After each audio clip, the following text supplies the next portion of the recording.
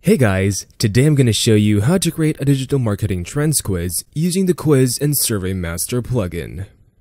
To create our marketing trends quiz, I have created a dummy WordPress website using InstaWP.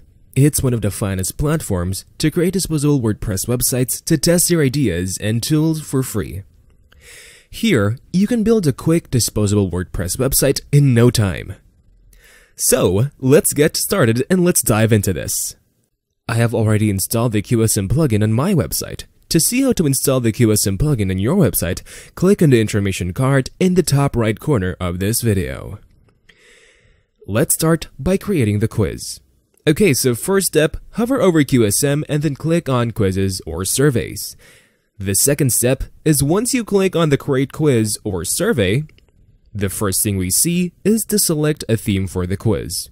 QSM has a collection of stunning themes, but for now, let's go with the default theme and then click on the next button.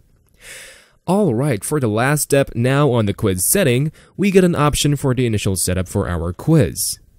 Let's set a name for the quiz and select what kind of form we are using. Time limit, you can set a timer for your form. You could also select if you want only logged in users to be able to fill the form. Let's not do that for the time being. Now comes the add-on section, where we get to see the most used or popular add-ons of QSM. You could select any add-ons as per your requirements to add more features to your forms, quizzes, and surveys. Currently, we don't need any add-ons, so let's click on Create Quiz.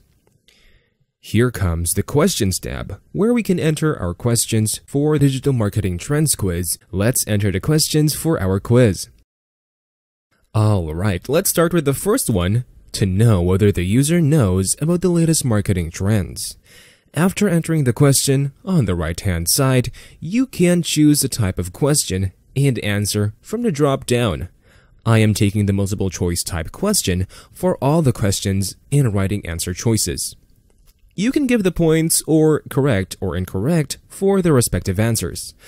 For this, I am giving the points to the answer to show you the results. Also, I am giving the hint here for the user reference. And if you want, you can mark the question as required, so this question cannot be skipped. And then click on Save Question. Once our first question is saved, let's click on the Create a Second Page question at the bottom of the Questions tab. For this question also, we will be selecting the multiple choice type question and writing answer choices with respective points. Now I'm creating a third page question and repeating the same process. Then click on Save Question. Now all the questions are saved.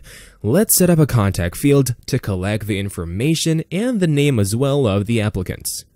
Click on Add New Field and let's select the field type and label it as Name.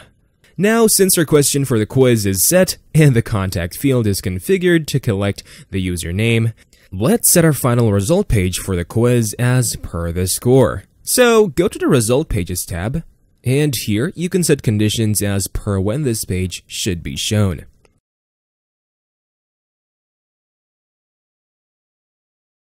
Now, after setting the conditions, we have to design the final result page that we have to show people to enter the message and take different variables from these templates, I am taking the total variable to put in my message. To beautify a result page, you can upload the image also in the description.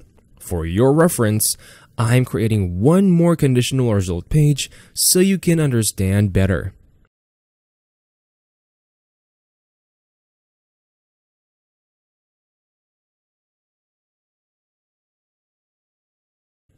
Let's preview our digital marketing trends by clicking on the preview icon at the top right corner of the page.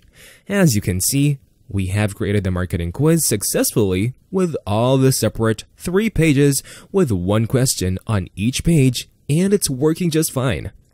Also, you can see the timer running on the rightmost bottom of the page. And finally, the result page. We have successfully added the score and the description here. That's all for this tutorial. Stay tuned for new tutorials, and until next time, bye bye and stay safe.